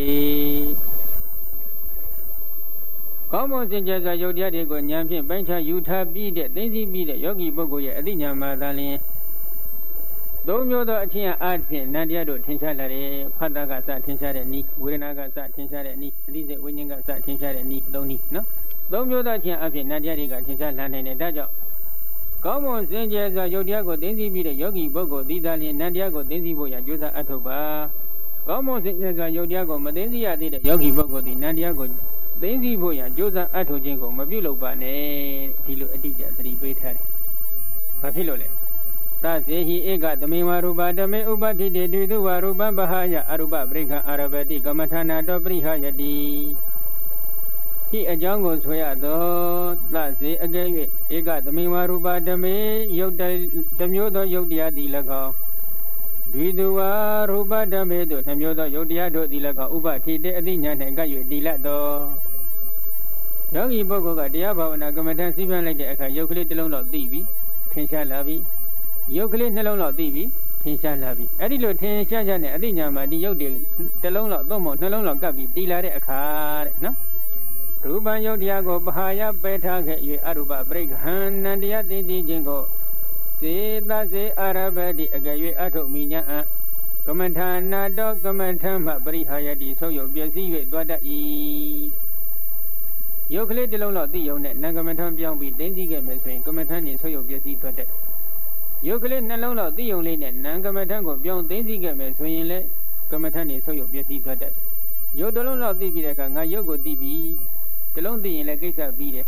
ဒါကြောင့်ရှေ့ဆက်ပြီးကြံနေတဲ့ရုပ်တွေသိသိချင်းဆိုတဲ့လုံငရကိုဘေးဖယ်ထားလိုက်ထားပြီးတော့မှနံတရားကိုပြောင်းပြီးတော့သွားသိသိတယ်သိသိလိုက်ပြီဆိုလို့ရှိရင်တော့ကမ္မထမ်းမှာဆုပ်ယုတ်ပြည့်စည်သွားမယ်ဒီလောက်ပြောရင်လည်းနားလည်တဲ့ပုဂ္ဂိုလ်လည်းရှိမယ်ဒီတဲ့ရှင်းအောင်ဥစဉ်နဲ့ထပ်ပြောမှာ ကိုယ်နေတာကယုတ်တရားသိနေတာကနံတရားသွားနေတာကယုတ်တရားသိနေတာကနံတရားကိုယ်နေတာသူတို့ပြောတဲ့အတိုင်းယုတ်ပေါ့အတုံးလိုက်ခဲလိုက်ယုတ်ပါနော်ခဏမပြောသေးတဲ့ယုတ်ပဲပရမမဆိုင်သေးတဲ့ယုတ်အဲ့ဒီယုတ်ကလေးကိုယ်နေတဲ့ဆိုတဲ့တွန်းကန်လှုပ်ရှားနေတဲ့ဝါယောဒယုတ်ကလေးတစ်လုံးလောက်သိုံနဲ့သိနေတာကနန္တရားဆိုပြီးနံကမ္မထံပြောင်းရှုလိုက်ခဲ့ရင်ကမ္မထာနာတော့ပရိဟာယတိကမ္မထံနေဆွတ်ယုတ်တော့မယ်ပြည့်စည်သွားမယ်နောက်တစ်ခုထပ်ပြောဦးမယ်ပူရာဣရာကယုတ်တရား လှုပ်တာကယုတ်တရားပူရာဣရာကဒီဇောတယုတ်တရားလှုပ်နေတာကဝါယောဒယုတ်တရားပူတယ်အေးတယ်လှုပ်တယ်ယုတ်နှလုံးသိပြီနှလုံးသိပြီးတဲ့အခါချမ်းသာတာဆင်းရဲတယ်ဆိုတဲ့နံကမ္မထံပြောင်းသိသိရုပ်ကလေးနှလုံးတော့သိုံနဲ့နံတရားနံကမ္မထံကိုရုပ်တရားရှုတဲ့လုပ်ငန်းရက်ကိုပယ်စွန့်ထားခဲ့ပြီးနံကမ္မထံပြောင်းသိသိခဲ့ရင်တဲ့ဘာဖြစ်မလဲကမ္မထနာတော့ပရိဟာယတိကမ္မထမှာဆွေးရုံတော့မယ်ပြည့်စည်သွားမယ်ဟုတ်မို့ကိုလက်တွေ့သဘာဝကြည့်စမ်းကြည့်နော် အဲ့ဒီလိုရုပ်ကလေးတစ်လုံးလောက်သိုံနဲ့နံပြောင်းသိသိတယ်ရုပ်ကလေးနှလုံးလောက်သိုံနဲ့နံပြောင်းသိသိလိုက်တဲ့အချိန်ခါမှာထိုယောဂီပုဂ္ဂိုလ်တွေနှစ်ပေါင်းများစွာအထုတ်တဲ့ယောဂီတွေလည်းဒီထက်ပါခြင်းပါပါလိမ့်မိမိတို့ယုံ28ပါးဘယ်လောက်သိပလားအဲ့ဒီလိုနှစ်ပေါင်းများစွာအထုတ်လိုက်လို့ယုံ28ပါးသိပလားလို့မေးကြည့်ရယုတ်ကလတ်တွေမြင်မလားမြင်ခဲ့ရင်လည်းယုတ်ကလတ်တွေဓာတ်ခွဲနိုင်မလားဓာတ်ခွဲနိုင်ပြီဆိုလို့ရှိရင်လည်းဒီယုံ28ပါးသိပလားမသိဘူးလားကိုယ့်ကိုမေးကြည့်မသိသေးဘူးဆိုရင်တော့ကမ္မထံဆွေးရုပ်တယ်ပြောမလားတိုးတက်တယ်ဆိုဒါသင်ချာချာကြီးပါ နောက်တစ်ခုကြည့်ရောစိတ်စိတ်တဲ့ကလေးတွေကိုဝိသိစိတ်အစဉ်တဲ့စနစ်တကျမရှုတတ်သေးဘူးနာမ်ကိုပရမတ်မဆိုင်ဘူးမဆိုင်သေးတဲ့ပုဂ္ဂိုလ်ဒီကမ္မထံတိုးတက်တယ်ပြောမလားဆွေးရုပ်တယ်ပြောမလားသူကဒီတရားလေးတစ်လုံးရုပ်ကလေးတစ်လုံးနှလုံးတော့သိုံနဲ့ဟိုမှာကိုယ်တတုံးကလှုပ်ရှားနေတာဝါယောတကယုတ်တရားသိနေတာကနန္တရားဒီလောက်ပဲသူကထိုင်ရှုတော့သူကဒီလောက်ပဲသိတော့မှာပေါ့သူရှုတာကဒီလောက်ပဲရှုတာ အဲ့လိုသိနေတဲ့ပုဂ္ဂိုလ်ဒီကျောင်းကျောင်းဆက်ပြိဿသမုပ္ပါကောအတိတ်ကမရှုကောင်းမှုဆိုတဲ့ပုံသေးမူသေးကိုသူကလက်ကင်ထားတော့ကျောင်းကျောင်းဆက်ပြိဿသမုပ္ပါလည်းသိအောင်လားမသိဘူးယုတ်နံလည်းပရမတ်ဆက်အောင်မသိတဲ့အတွက်ဒုက္ခသစ္စာလည်းမသိကျောင်းကျောင်းဆက်ပြိဿသမုပ္ပါလည်းအတိတ်ကမရှုကောင်းမှုဆိုတဲ့မူကိုလက်ကင်ထားတဲ့အတွက်မသိသမုဒိယသစ္စာလည်းမသိဒုက္ခသစ္စာသမုဒိယသစ္စာမှမသိသေးတဲ့ပုဂ္ဂိုလ်ဟာဘယ်လိုလုပ်ပြီးတော့ဒီនិရောဓသစ္စာနဲ့မဂ္ဂသစ္စာကိုသွားပြီးဆိုင်နိုင်မဆိုင်နိုင်ဘူးဆိုလို့ရှိရင်ဒီပုဂ္ဂိုလ်ဒီကမ္မထံဆွေးရုပ်တယ်ပြောမလားတိုးတက်တယ်ပြောမလားအဲ့ဒါပဲဒီလိုဖြစ်ဟုတ်တယ်မလား တတ်မှတ်ပေးတဲ့စည်းကမ်းကိုမလိုက်နိုင်ကြတာမိမိတို့ကြည့်လိုက်တော့သုဒ္ဓဝိပဿနာယန္တိကပုဂ္ဂိုလ်လို့အမိခံတယ်သုဒ္ဓဝိပဿနာယန္တိကပုဂ္ဂိုလ်လို့အမိခံပြီးတော့ရုပ်ကိုပိုင်အောင်မသိသိတတ်သေးပဲနဲ့နာမ်ကိုပြောင်းပြီးသိသိကြတယ်ကမ္မထံတွေကသူကဘာဖြစ်လဲဆုပ်ယုပ်သွားမယ်ပြည့်စည်သွားမယ်ဆိုပြီးတော့အထက်ကရာဆရာတော်ကတတိပေးတယ်။ဘာဥပမာလေးနဲ့တတိပေးလဲဆိုတော့သူက